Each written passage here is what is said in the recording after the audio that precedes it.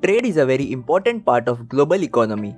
Trade enables goods from one part of the world to be used in the other part of the world. Container ships play an important role in this global trade. Container ships enable large quantities of goods to be transported from one country to another. Most of the global trade is done via these container ships. Container ships are widely used for trade around the world over 90% of the world's trade takes place through the sea. This is because it is the most cost efficient way to transport cargo anywhere in the world. There are massive cargo ships that can carry tons of cargo from one country to another.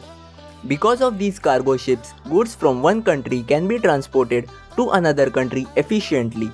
Although shipping goods through air is faster, but it is also very costly and not very efficient as cargo planes have far less capacity than cargo ships.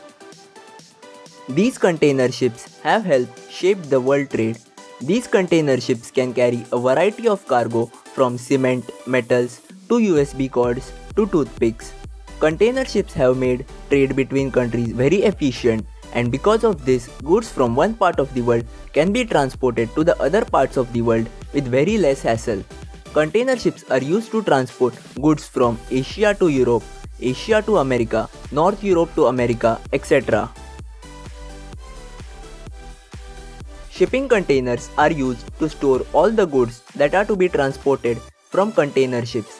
These shipping containers have anything from sugar, paper, cotton to metals, machinery, steel pipes in them. The dimensions of these shipping containers are standardized by the ISO. This is to make sure that a shipping container can be used in any part of the world and on any shipping vehicle without any problem.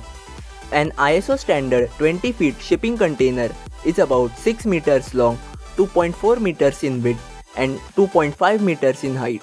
A 20 feet shipping container is rated at 30.4 tons that means its maximum gross weight should be 30.4 tons including its own weight and the weight of the load but usually it is around 24 tons.